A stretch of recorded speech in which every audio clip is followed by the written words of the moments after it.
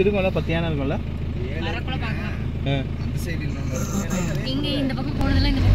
தனியாக வந்து ரிஸ்க் இல்லைன்னா தனியாக ஒரு யானை சிங்கிளாக வந்து ரிஸ்க் இல்லை.